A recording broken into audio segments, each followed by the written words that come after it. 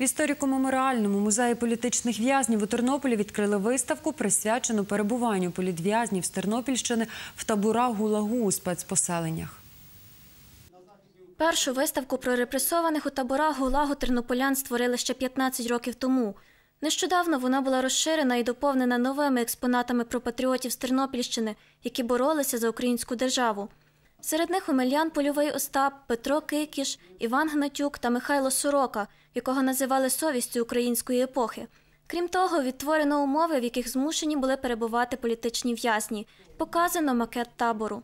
Ми зібрали тут е, біля 60 біографій, значить, їхні, про їхню діяльність, про, про, про їхнє життя. І, то, і ми вважаємо, що це дуже правильно. То тут показано, крім цього, засоби праці в таборах, показана карта Радянського Союзу з нанесенням таборів. Біля 20 мільйонів після 44-го року сиділо в таборах. Також макет табору, взуття, одежа в'язнів, це з номерами. Дуже цікава виставка про Ярослава Стецька. Він був заступник Степана Бандери.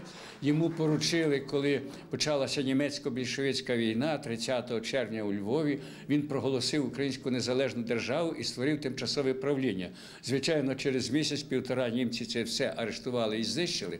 Але він на еміграції Ярослав Стецько очолив антибільшовицький блок народів, тобто всі республіки Радянського Союзу, в тому числі країни народної демократії, створили таку організацію на еміграції, яка весь час ну, дискредитувала Радянський Союз. Тобто вони випускали листівки, вони пікетували посольства, тобто вони приложились дуже до розвалу ем, е, більшовицької імперії.